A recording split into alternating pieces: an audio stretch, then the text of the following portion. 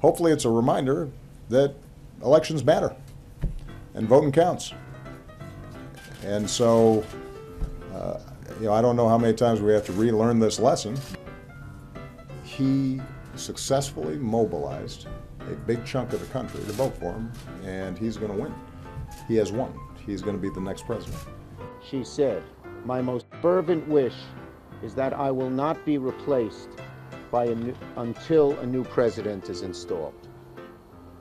We believe that. I want to tell you, Gorsuch, I want to tell you, Kavanaugh, you have released the whirlwind and you will pay the price. You won't know what hit you if you go forward with these awful decisions. And we only need two more senators to say that they will abide by RBG's wish. Two have already said it, we need two more. And to Mitch McConnell, we need to tell him that he is playing with fire.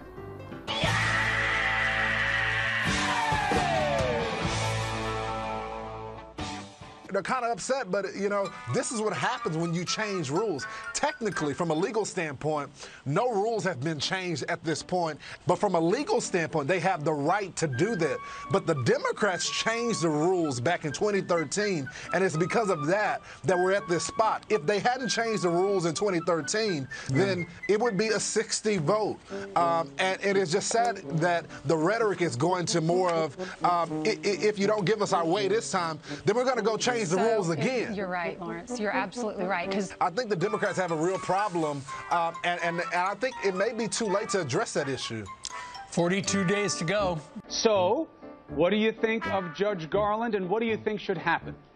What I think should happen next is the customary step, which be, would be after the courtesy meetings are completed, there should be hearings before the Judiciary Committee to allow for a fuller vetting of his views. That given the proximity of the presidential election, she does not believe that the Senate should vote on the nominee prior to the election she goes on to say that, in fairness to the American people who will either be reelecting the president or selecting a new one, the decision on a lifetime appointment to the Supreme Court should be made by the president who is elected on November 3rd.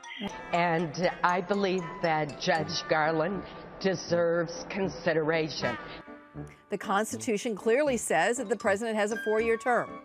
The Constitution says the president shall nominate Supreme Court justices. The Constitution says the Senate shall advise and consent, and that means having an up or down vote. Guess whose face we're going to see over and over again between now and November 3rd? None other than Turtle McTurtle Mitch McConnell. I mean, Mitch McConnell is going to be the face of the Republican Party, and that is not a good face for the Republican Party.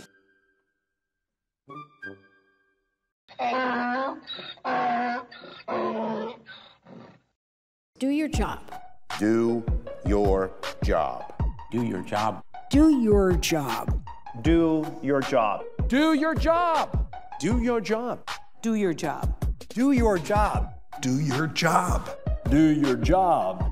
Do your job. Do your job. Do your job. This isn't supposed to be a circus. The president has done his constitutional duty.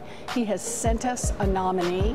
And now it is our job in the United States Senate to hold hearings, to examine his credentials, and then to have a vote on him. Mitch McConnell believes that this fight is over. What Mitch McConnell does not understand is this fight has just begun. Let him show me the clause that says the president's only president for three years. This kind of obstructionism isn't going to last. And you know, we Democrats didn't do this. Obstructionism isn't going to last, and we Democrats didn't do this. Oh, oh, mm, well, we do have the tape from 2007 when Senator Schumer said this. I will recommend to my colleagues that we should not confirm any Bush nominee to the Supreme Court except in extraordinary circumstances. The Supreme Court rules. The Supreme Court doesn't like this wild free speech out here. Okay, so Um, it was 4 4, no amplification. we have never had in the history of the country such obstruction. President's nomination, he does he has no choice. He shall nominate. It's frankly ridiculous. There is no Biden rule. It doesn't exist. I would go forward with the confirmation progress process as chairman, even a few months before presidential election. And when what the Republicans have said in an unprecedented fashion, that even though under the Constitution they took a solemn oath, a solemn oath before God to uphold the Constitution, they said, in this case, we won't uphold the Constitution. And I believe voters are going to make it clear they'll not stand for this abuse of power, this constitutional abuse. Please follow your conscience. Don't vote to confirm anyone nominated under the circumstances President Trump and Senator McConnell have created. Don't go there. Uphold your constitutional duty, your conscience. Let the people speak cool the flames that have been engulfing our country. I look at history, and in the last 100 years since we've had Judiciary Committee hearing, everyone, unless they've just gotten approved in 10 days, has had a hearing.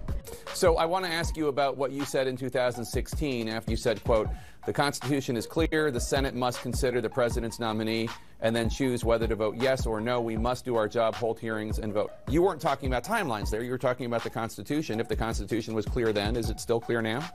My Republican colleagues, and some of them have already come out and said the right thing because they understand what's at stake here, that you, they don't want to join in with the president who is lying and lying and lying in terms of how he's going to handle a Supreme Court nomination. Uh, we should honor her, what she called her fervent wish. Uh, is that she will not be replaced until a new president is installed. Regardless of what Mitch McConnell says tonight, Rachel, uh, each and every Republican senator is going to have to um, look into their soul and look at the words that they said back then. Thing. They said shall means shall.